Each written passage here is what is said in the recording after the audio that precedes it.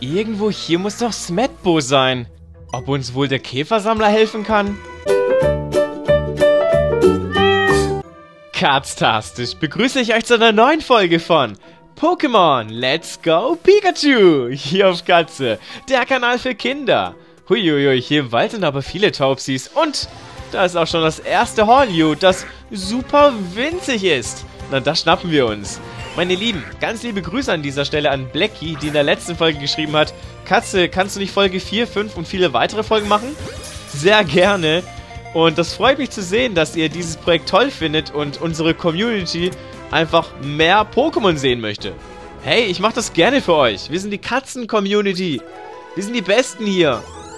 Und ihr seht schon, Marie-Louise Lonka, Champion der echte, Fly Fly, Nike und Christine Lohe. Ihr kommentiert immer so fleißig, deswegen habe ich die Pokémon nach euch benannt. Und das wird sich auch nicht ändern. Auch in den zukünftigen Folgen werde ich meine Pokémon nach euch benennen. Also wer fleißig kommentiert und zuguckt, der kommt in das Spiel. Ich wechsle immer mein Team aus. Meine Lieben, hier kommt auch direkt der Hinweis.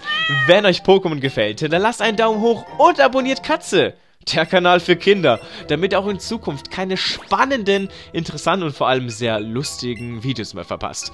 So, Christine Lohe, ich brauche dich unbedingt ganz vorne an meiner Seite, denn mit deiner Windstoßattacke kannst du mir die Käfer vom Leib halten, was hier im Wald sehr, sehr wichtig und elementar sein kann.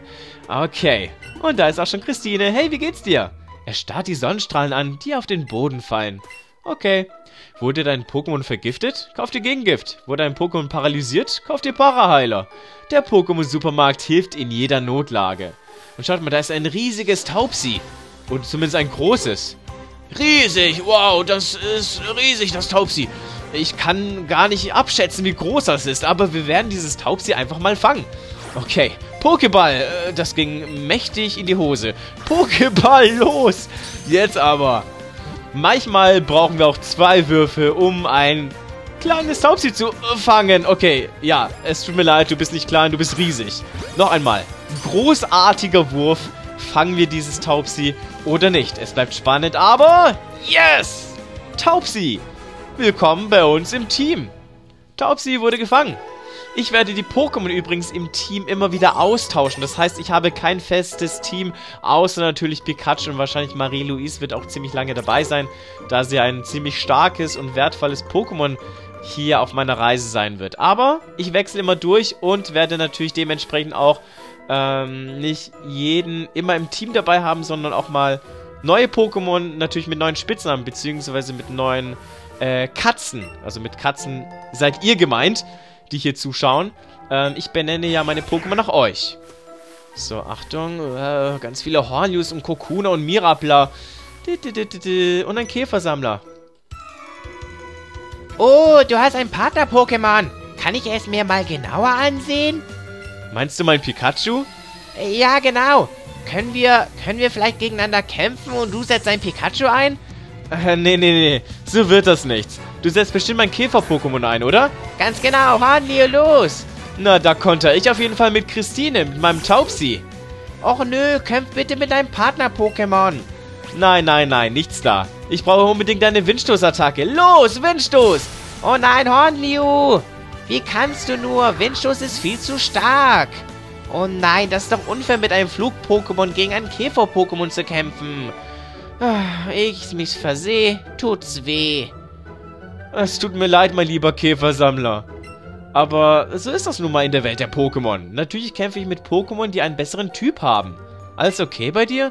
Äh, ob ich mein Honio auch so tragen sollte? Kannst du machen, achte nur auf den Stachel. Nicht, dass du dich piekst. Oh, ein Kokuna. Und ein Raupi und oh, eine Göre von letzter Folge. Die war so zickig. Habt ihr die letzte Folge gesehen? Da war sie etwas zickig, die liebe Göre. Na gut, hier laufen wir bloß im Kreis. Dann lasst uns mal weiter in die Richtung laufen. Oh, na hoppla, was ist denn jetzt los? Jawoll, du hast auch Pokémon, oder? Dann lass uns kämpfen.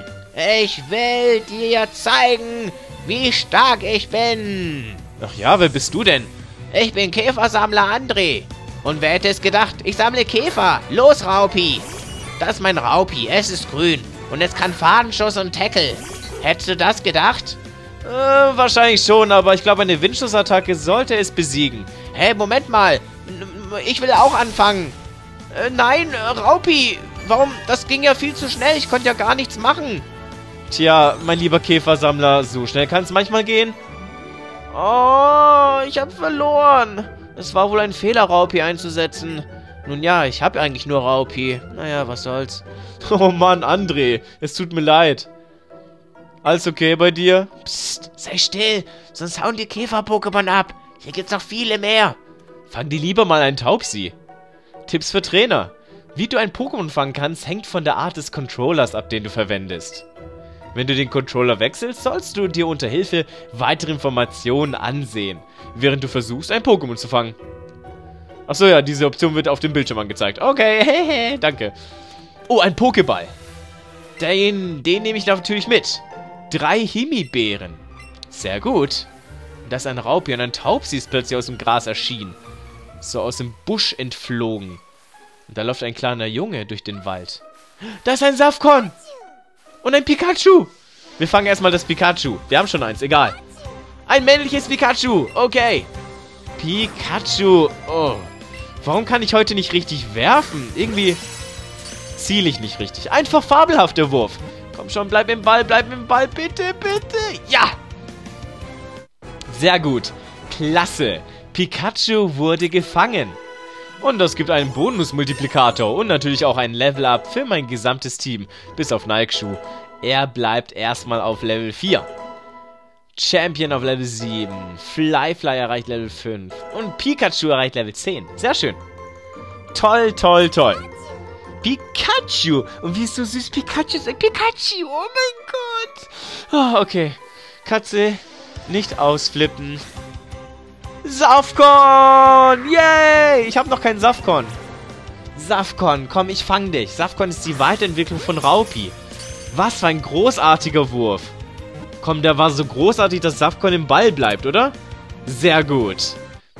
Klasse. Safkon wurde gefangen. Und da wir Safkon noch nicht besitzen und zum ersten Mal gefangen haben, gibt es jetzt, wenn mich nicht alles täuscht, auch einen Pokédex-Eintrag. Na, hallo, da ist er ja auch schon. Für Safkon wurde ein Eintrag im Pokédex angelegt. Safkon, um sich zu schützen, härtet es eifrig seinen Panzer, doch wenn es heftige Treffer einsteckt, wird sein Inneres entblößt. Das klingt so, als würde man es attackieren, bis es aufplatzt und daraus dann die Weiterentwicklung rauskommt. Ich weiß es nicht. Hey, wer bist du denn, kleiner Knirps? Ich wollte ein Pokémon fangen und habe einen Pokéball nach dem anderen geworfen. Doch dann sind sie mir ausgegangen. Du solltest immer genug Pokébälle dabei haben. Ja, das ist wahr. Danke für den Tipp. Oh, ein winziges Safkon. Na egal. Brauche ich jetzt nicht unbedingt. Ganz langsam hier durch den Wald schlendern. Und da vorne ist ein riesiges Taubsi mal wieder. Hier gibt es viele riesige Taubsis im Spiel. Und es hat uns angeflogen. Ich bin froh, dass es zwar eine kleine Änderung im Gegensatz zu den anderen Pokémon-Spielen, dass man jetzt nicht mehr gegen die wilden Pokémon kämpft, aber dadurch sind diese wilden, in Anführungszeichen, Kämpfe auch viel schneller vorbei, weil man das Pokémon direkt fängt. Man muss es nicht davor schwächen. Es ist nicht geschwächt, aber es ist vereinfacht. Klar, man kann es noch weiter vereinfachen, sollte es teilweise auch mit besseren Bällen beziehungsweise mit Beeren, aber ähm, an sich ist das Prinzip mit dem Fangsystem gerade ganz cool, weil man dann nicht so viel Zeit verliert. So, Flug-Pokémon Taubsi wurde in die Pokémon-Box gelagert. Sehr gut. Und da ist ein Schild. Tipps für Trainer. Entferne einen der Joy-Con-Controller von der Konsole und schüttle ihn. So kannst du ihn mit deinem Partner-Pokémon spielen. Okay, kann ich mal machen. Oh, wer ist das? Moment mal! War dein Smetbo gerade? Christine ist ganz neugierig auf das Safkon, das du gerade gefangen hast. Christine, du hast recht. Aber war da gerade ein Smetbo oder... Tatsächlich! Smetbo! Smetbo! Mein Gott, oh mein Gott, ein Smetbo! Das ist super selten, oder? Oh mein Gott! Ich werde auf jeden Fall eine Beere einsetzen. Denn das ist eine ziemlich heikle Geschichte. Ein Smetbo auf Level 5, verrückt. Hier, bitteschön. Magst du mich jetzt ein bisschen lieber? Kann man eigentlich mehrere Beeren einsetzen? Weiß es jemand? Bringt das was, wenn man mehrere Beeren einsetzt? Wenn ihr was wisst, wenn ihr mehr wisst als ich, dann schreibt das gerne in die Kommentare, denn ich fange jetzt dieses Metbo. Ich hoffe es zumindest. Konzentration, Konzentration und... Oh Mann, es bewegt sich die ganze Zeit. Und ich kann nicht so gut zielen irgendwie. Komm jetzt.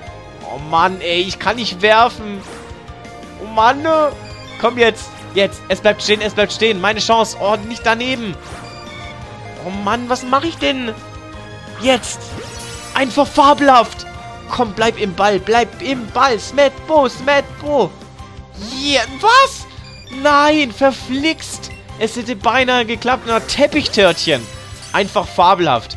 Komm, der Wurf sitzt jetzt. Komm schon, komm schon, komm schon. Nein, Smetbo. Teppichtörtchen, es ist geflohen. Smetbo ergreift die Flucht. Smetbo. Smetbo? Smetbo, wo bist du? Ich möchte dich fangen. Hast du Smetbo gesehen? Ähm, Entschuldigung. Weißt du, ob in diesem Wald Bisasam leben?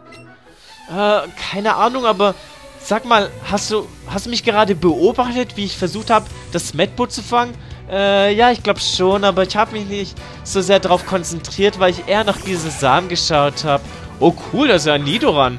Ja, das ist mein Nidoran, aber ich möchte lieber einen Bisasam haben. Okay, Bisasam hin oder her. Weißt du, wo Smetbo hingeflogen ist? Äh, nee, keine Ahnung. Ich habe mir, wie gesagt, eher nach Bisasam geschaut.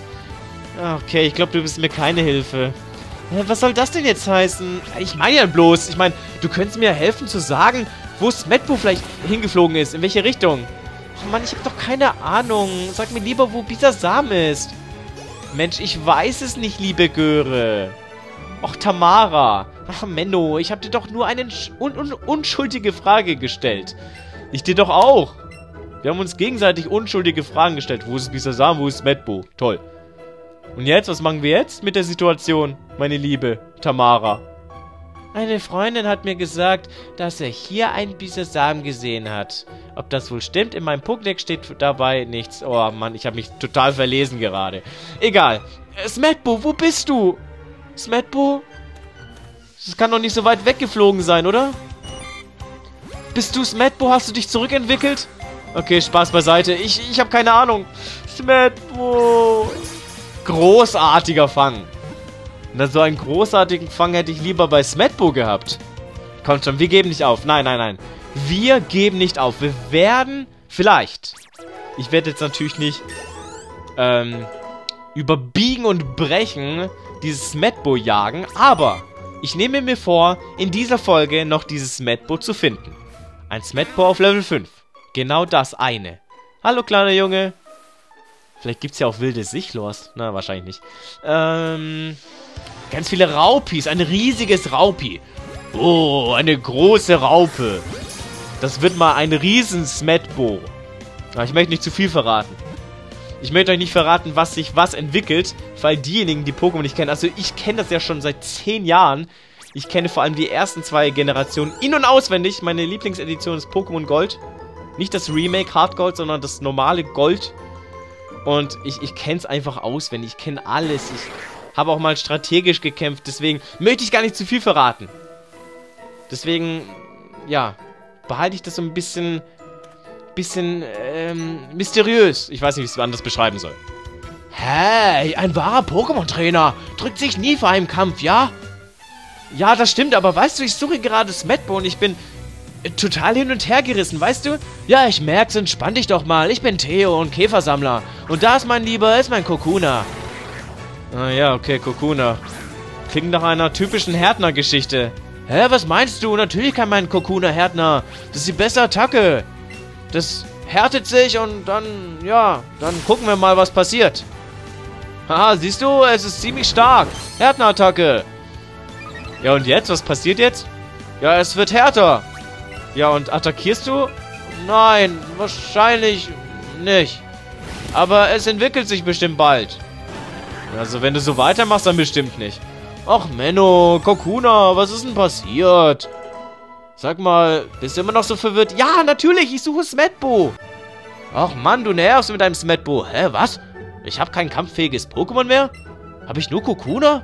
Ich dachte, ich hätte noch mehr Käfer-Pokémon. Hatte ich nicht Hornliu? Ach so, hat sich in Kokuna entwickelt. Ach Mensch, hm. So ein Mist. Ich muss mir ein paar stärkere Pokémon fangen. Ja, such doch mit mir Smetbo. Hier irgendwo fliegt das rum. Mit Smetbo hättest du mehr Chancen, wenn ich daran denke. Smetbo. Konfusion-Attacke. Psystrahl. Lernt es Psystrahl noch? Konfusion auf jeden Fall, aber Psystrahl weiß ich jetzt gar nicht. Ich habe noch nie bewusst ein Smetbo trainiert. Egal. Ähm, Christine, meine Liebe, komm, wir fliegen weiter. Oder du fliegst, ich laufe. Ein winziges Raupi, okay. Ach, da ist ja wieder der kleine Theo. Hallo, hey. Ähm. Boah, hier sind aber viele Käfer-Pokémon. Und Pflanzen-Pokémon auch. Und ein Flug-Pokémon, ja, egal. So. Achso, nee, das war mein eigenes Taubsi, das Flug-Pokémon. Tja, Pustekuchen. Vielleicht hat die Göre irgendwo ein Smetbo gesehen. Sag mal, hast du Smetbo gesehen? Hä? Soll ich dir einen Tipp für das Werfen von Pokebällen geben? Oh ja, bitte unbedingt. So oft, wie ich heute verworfen habe. Sagt man das so, verworfen? Ne, nicht verworfen. Verfehlt, sagen wir einfach verfehlt. Ich habe so oft Pokebälle geworfen und Smetbo nie getroffen. Ah ja, ich kann dir gerne ein paar Pokémon-Tipps geben, also ein paar Wurftipps. Aber zuvor musst du es schaffen, mich zu besiegen. Nichts leichter als das, Christine, Tackle-Attacke. Okay, Sandwirbel. Okay, Sandwirbel ist gar nicht so unklug. Wenn man das bis zu sechsmal einsetzt, ist das eine ziemlich hohe Chance, dass mein Pokémon nicht mehr trifft. Aber ja, kommt immer auf den Kampf an, wie oft man das einsetzen möchte, ob es sich lohnt oder nicht. Okay, besiegt. So, liebe Göre, wie heißt du eigentlich? Hab ich gar nicht geschaut. Aber.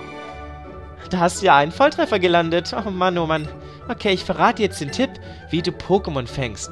Den ultimativen Wurftipp. Oh, ich bin echt gespannt. Erzähl. Man muss den Pokéball in die Mitte der beiden Ringe werfen, habe ich gehört. Ernsthaft? Das weiß ich doch. Ich dachte, du erzählst mir, wie ich keinen Bananenwurf mehr werfe. Und auch Pokémon treffe und fangen kann, die sich von links nach rechts bewegen. Och, Mano. Naja, egal. Ein Pokéball. Ein Lockparfüm. Das ist ja mal interessant. Was macht das genau? Kann ich damit ein Smetbo anlocken? Lass mal kurz nachsehen, was das ist. Das interessiert mich jetzt. Beutel, Lockparfüm. Ich weiß gar nicht, wo das drinstecken soll. In der Medizintasche? Klamottenkoffer? Wahrscheinlich nicht. Bonbonglas? Ich weiß gar nicht, was ich alles habe. Stärkung. Habe ich gar nichts drin. Kampftasche. Gar nichts. TM-Box. Habe ich sowieso nicht. Nee. Oh, wir müssen nochmal Outfits einsetzen. Haben wir noch nie gemacht. Können wir auch noch machen. Oh Gott, da unten ist es ja. Bin ich blind. Ein Parfüm, das für kurze Zeit vermehrt seltene Pokémon anlockt. Naja, gut. Äh, Smetbo könnte ich jetzt anlocken, aber vielleicht kann ich das behalten und vielleicht mal später einsetzen. Du kannst dein Pokédex jederzeit vom Professor Eich in seinem Labor bewerten lassen. Smetbo? Smetbo, bist du hier irgendwo? Oh Gott. Das Safkon habe ich jetzt gar nicht gesehen. Safkon. Hallo, Safkon. Hä, das sollte ein großartiger Wurf sein. Okay, war knapp drüber, aber ich meine, na gut, egal. Yay, Safkon wurde gefangen. Wupp, wupp. Sehr schön. Klasse Sache, aber noch immer keine Spur von Smetbo. Flyfly erreicht Level 7. Oh oh, Level 7 hat was zu bedeuten. Achtung. Nanu, Flyfly entwickelt sich. Flyfly! Du entwickelst dich! Yay! Flyfly wurde zu Safkon. Ganz genau. Raupi entwickelt sich nämlich zu Safkon weiter. Wir haben zwar schon einen Safkon, aber ich sag euch was. Dieses Safkon hier ist das beste Safkon, das wir besitzen. Nicht nur, weil es Flyfly heißt. Nein, wir haben es trainiert. Wenn auch nicht direkt. Sondern übers Fangen. Okay, Flyfly und Safkon haben wir auch noch gefangen. Das heißt, wir haben Do Doppel-Safkon sozusagen. Schöne Runde. So, Achtung, vielleicht hat der Typ Smetbo gesehen. Hey, hast du Smetbo gesehen? Hey, warte! Wo willst du denn so eilig hin? Ich bin auf der Suche nach Smetbo. Smetbo? Ja, habe ich irgendwo vorbeifliegen sehen. Was? Wo? Ja, ich bin Max. Und ich fordere dich erst einmal heraus. Ach komm, sag mir, wo Smetbo ist. Okay, ich sag's dir. Aber du musst mich erst besiegen. Na gut. Einverstanden, aber du musst mir dann wirklich verraten, okay? Natürlich. Okay, Safkon, mach dich bereit. Achtung, ein Windstoß. Äh, was? Ich kam ja gar nicht zu einer Härtenattacke. Das ist unfair. Du kämpfst mit gecheateten Pokémon. Wie komme ich jetzt darauf? Oh Mann, ich gebe auf, du bist voll stark. Okay, sagst du mir jetzt, wo du Smetbo gesehen hast? Äh, angeschmiert. Ich habe Smetbo gar nicht gesehen. Ernsthaft? Oh Manno. Manchmal liegen Items auf dem Boden, die man mit bloßem Auge nicht sehen kann. Aber wenn dich ein Pokémon begleitet, kann es sie für dich aufspüren. Ich achte nur auf Items, nicht auf Smetbos. Wie geht's dir, Christine? Na, Christine wird durch den Geruch der Pflanzen beruhigt. Na, das ist schön, aber keine Spur von Smetbo. Du verlässt jetzt den Fatania-Wald. Auf Wiedersehen. Vor dir liegt Mamoria City. Smetbo, ich werde dich vermissen. Wir werden uns eines Tages wiedersehen. Oh Mann, oh. Ah, hallo, ich habe Smetbo nicht gefangen. Wer bist du denn? Es gibt doch einige Pokémon, die ausschließlich in Höhlen oder Wäldern leben. Wenn du viele verschiedene Pokémon fangen willst, musst du dich überall gründlich umsehen. Okay. Ob er wohl ein Smetbo-Trainer ist? Na, ich höre schon auf, über Smetbo zu reden. Hier und dort hast du bestimmt schon mal von Sträuch am Wegesrand bemerkt, oder? Wie ich höre, kann man sie mit der Geheimtechnik Spaltschnitt zerschneiden und so den Weg freiräumen. Spaltschnitt? Hä? Das heißt doch Zerschneider. Na egal. Wer bist du denn? Je höher die WP eines Pokémon, desto höher seine Kampfkraft. Der Wert setzt sich angeblich irgendwie aus den einzelnen Statuswerten zusammen. Okay, WP ist wirklich neu. Habe ich noch nie gehört. Was ist da drin? Nichts. Okay. Gut, dann verlassen wir wohl den Wald. Auf geht's nach draußen. Ein für alle Mal den Wald verlassen. Wo sind wir jetzt? Natürlich die kleine, der kleine Abschnitt der Route 2 noch, bevor man nach Mamoria City kommt. Hey, ein Radfratz haben wir schon ewig nicht mehr gesehen. Hallo Radfratz, wie geht's dir? Süß. Wir haben auch einen Radfratz. Champion der Echte ist unser Radfratz. Und wir erreichen Marmoria City. Was für eine wunderschöne Stadt. Ah, hey, du kommst wie gerufen. Thomas, da bist du ja. Ewig nicht mehr gesehen. Wusstest du, dass es in dieser Stadt eine Pokémon-Arena gibt, Katze? Da kann man gegen einen super starken Trainer antreten. Den sogenannten Arena-Leiter. Okay, cool. Gegen, einen Arenaleiter zu kämpfen ist zwar kein Zuckerschlecken, aber wenn wir stärker werden wollen, führt kein Weg daran vorbei. Schau mal, Pikachu ist schon ganz heiß auf einen Arena-Kampf. Stimmt doch, oder Pikachu? Ich stehe auf jeden Fall voll hinter euch. Hier. Oh, was ist das? Fünf Tränke von Thomas. Voll lieb, Dankeschön. Ich war in Spendierlaune, weil ich mir ein bisschen Preisgeld angespart hatte. Hoffentlich helfen sie dir dabei, den Arenaleiter zu besiegen. Das ist nämlich ein erster wichtiger Schritt auf deinem Weg zur Pokémon-Liga. Also, viel Glück euch beiden, ihr schafft das. Cheerio! Tja, wir sind in Mamoria City angelangt und werden dann die Arena betreten. Aber was wird in der nächsten Folge passieren und was werden wir in dieser Stadt erleben? Das und vieles mehr erfahren wir in der nächsten Folge. Tippt rechts oben, um zum nächsten Video von Pokémon zu kommen und vergesst nicht den Kanal zu abonnieren, damit ihr keine Videos mehr verpasst. Katz-tastisch!